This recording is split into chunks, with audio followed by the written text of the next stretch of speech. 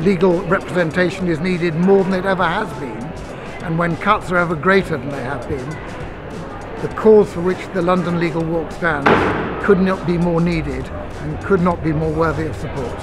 And all the very best of luck to all the walkers.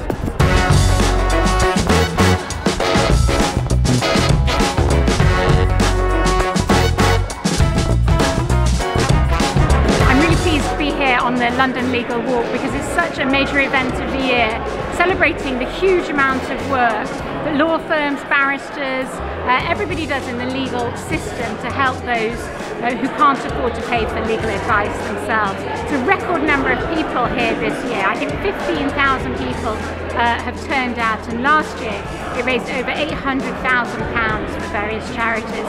So I'm really pleased to be with everybody else here supporting this amazing cause it's incredibly important that the legal profession should get together to raise money to provide legal help and advice services for people who cannot afford to pay for it but don't qualify for legal aid. The money that is raised supports a huge amount of charities helping perhaps the most vulnerable, the most disempowered in our society. Great to be here celebrating 100 years of women in the law. But here 50,000 of us are walking to raise money for those people to have access to the courts, which is the foundation of the rule of law.